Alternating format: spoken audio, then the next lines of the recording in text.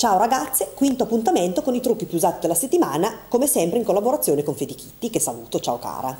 Oltre a Fedikitty voglio salutare innanzitutto The Glamour Coma, che è l'ideatrice di questa tipologia di video, Elisa, e lo realizza già da 12 settimane.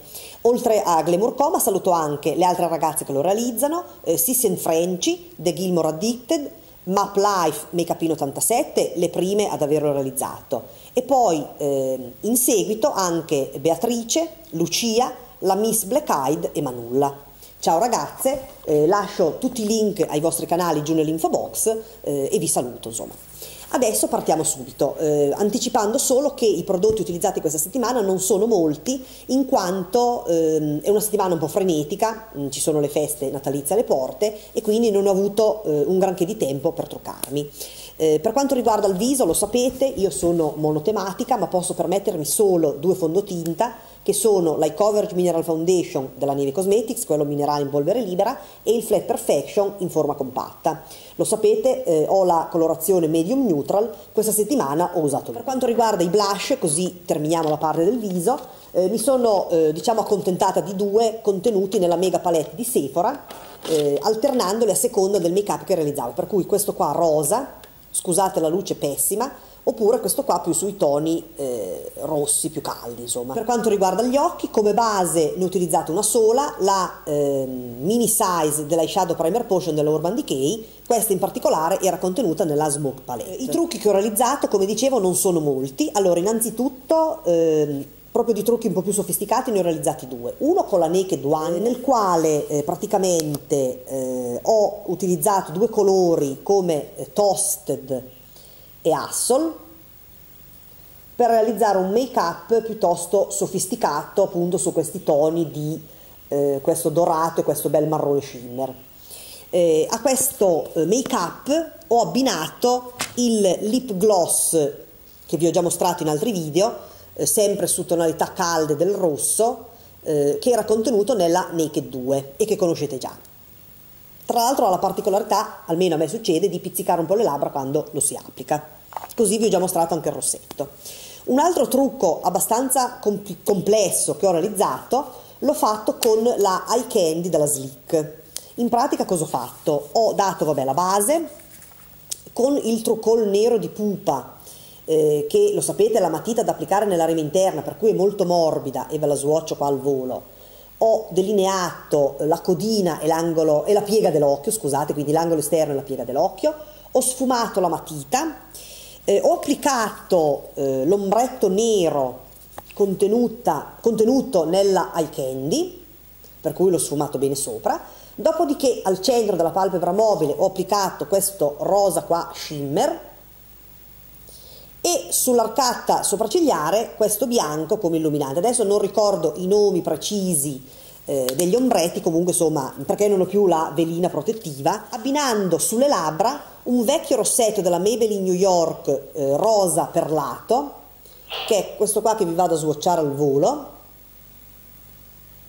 spero si veda, ed è il numero 283. So negli altri giorni o non mi sono truccata affatto, oppure sempre dalla mega palette di Sephora, ho utilizzato qualche cialdina singola, in particolare questa, questa qua, che è la mia preferita, vedete un bel azzurrino shimmer, un celestino shimmer che io vado ad applicare su tutto l'occhio, eyeliner, mascara e sono truccata, magari poi mi sbizzarrisco di più sulle labbra.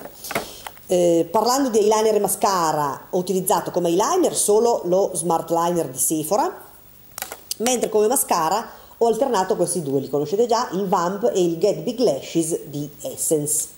Eh, un altro eh, make up per quanto riguarda le labbra che ho eh, utilizzato questa settimana mh, mm, è un make up molto semplice realizzato utilizzando semplicemente una matita per labbra eh, della Libre Professional Makeup, come vedete la numero 33. Eh, la Libre Professional Makeup è una marca di eh, make-up professionale che adesso sta aprendo alcuni store ehm, anche al pubblico.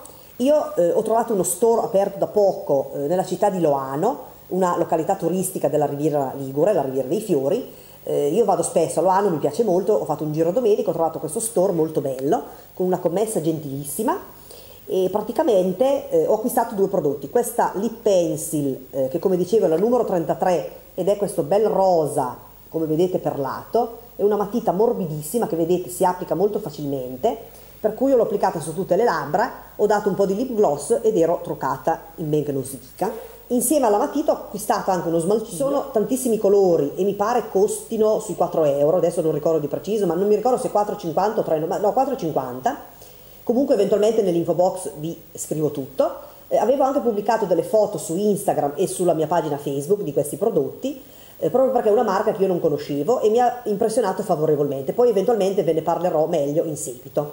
Comunque sia lo smaltino il numero 118, il numero è questo qua, ed è questo bel blu metallizzato, glitterato, che una volta applicato sulle unghie è molto più chiaro, per cui è quasi un celeste metallizzato, molto bello e poi in questo periodo di festa mi piace molto, eh, però è molto, dura bene, è durato bene almeno tre giorni, eh, ha una texture che rinforza l'unghia e oltretutto nonostante sia glitterato quando voi lo andate a rimuovere si rimuove facilmente, per cui uno smalto molto valido.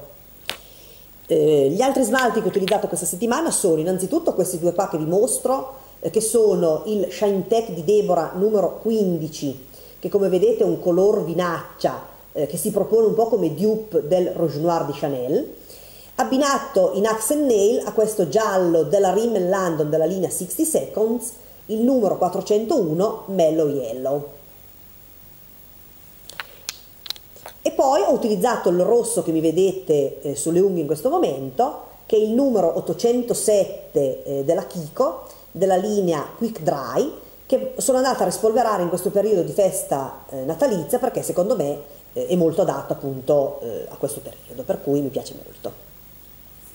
Per cui ragazze questo è tutto, non so eh, quando pubblicherò il sesto appuntamento degli usati della settimana, in quanto la prossima settimana è Natale, per cui eh, lo rimando eh, a data da destinarsi, vedremo un po' come vanno le cose e se vi fa piacere comunque ci vediamo al prossimo video. Ciao!